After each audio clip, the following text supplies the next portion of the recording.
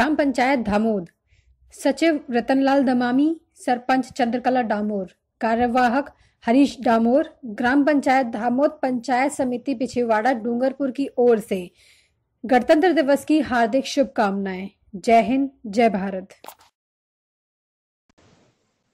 नमस्कार, मैं प्रिया बौद्ध। प्राइम न्यूज़ 24 में आपका स्वागत है। खबर राजस्थान के डूंगरपुर से है। जीवन ज्योति हॉस्पिटल सात सुभाष नगर डूंगरपुर के प्रबंध निदेशक जिनेन्द्र गुप्ता ने समाज सेवा के क्षेत्र में एक और उदाहरणीय कार्य कर मानवता का जीवंत परिचय दिया है।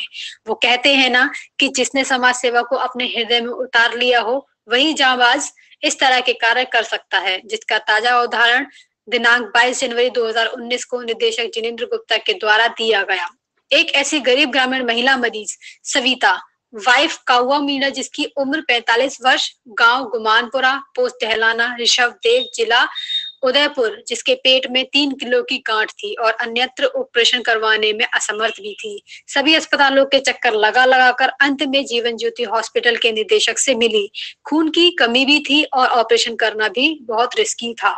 लेकिन हमेशा की तरह जीवन ज्योति हॉस्पिटल के डायरेक्टर ने इस महिला को भी बिना शुल्क के ऑपरेशन करने की इजाज़त दे दी। ऑपरेशन के पहले दो यूनिट रक्त चढ़ाकर मरीज़ का 22 जनवरी 2019 को जीवन ज्योति हॉस्पिटल डूंगरपुर में नियमित सेवा दे रहे डॉक्टर अजय सिंह। स्त्री एवं प्रसूति रोग विशेषज्ञ व उनकी टीम ने सफलतापूर्वक तीन किलो की काट का ऑपरेशन कर इस मरीज़ को राहत दी। सविता के एकमात्र बेटे कपिल मीना हैं, जो कि 22 वर्ष के हैं। उन्होंने एवं परिवारजनों ने जीवन ज्योति हॉस्पिटल का बहुत आभार व्यक्त किया और कहा कि वे पूरे गाँव में इस बात के लिए चर्चा कर जीवन ज्योति हॉस्पिटल के इस सराहनीय कार्य की प्रचार करेंगे।